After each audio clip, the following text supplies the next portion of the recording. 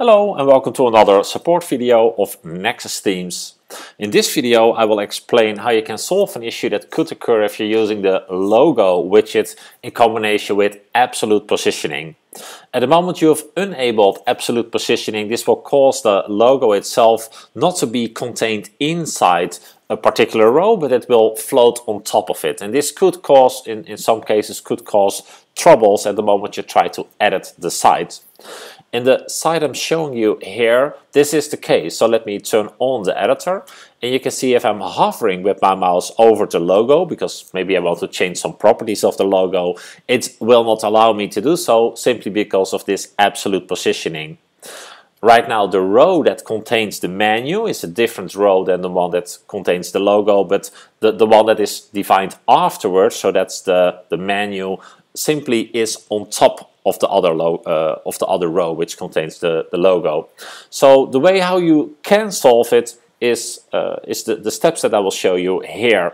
The first thing you will have to do is to of course log in to the environment and to go that particular page that has this issue and afterwards temporarily disable the editor by pressing the escape key or pausing the editor using the icon here at the top. I will uh, press the escape key and you can see the editor is now disabled. And uh, the, the next thing we can do is to hover over the logo. So I'm hovering here above these little uh, this little image here of these uh, of these horses and a right mouse click and then selecting inspect from the pop-up menu. At the moment you have the uh, clicked on that particular item you can see the system highlights the image.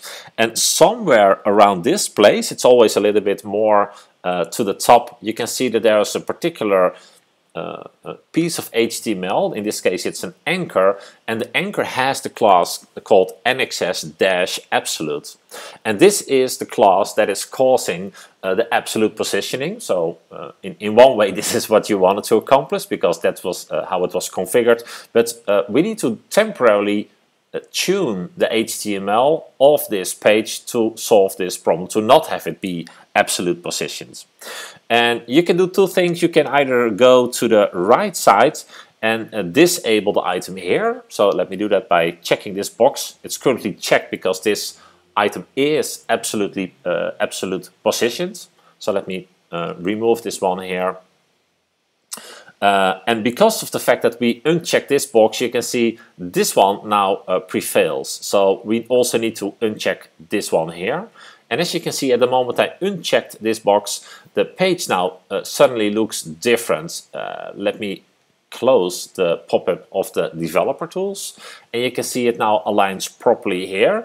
And if we now uh, turn the editor back on again, simply by again pressing the escape key or pressing the play button here at, uh, at the top, you will be able to hover with your mouse now over this row, which no longer is absolutely uh, absolute positions. And we can now access the properties here by clicking on the logo uh, icon on the top right.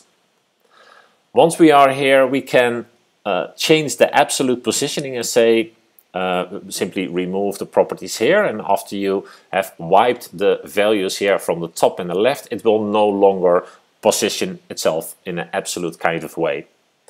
Alright, I hope this was helpful. I hope by now you've learned how you can uh, resolve the issue by temporarily modifying the, the DOM, the HTML, the document object model of that particular page, uh, which would allow you to change the properties of the logo afterwards. If you have any more questions about uh, solving this issue or if you have any questions about other features of our themes, please do let us know because we'll be happy to help you out. Thanks for watching.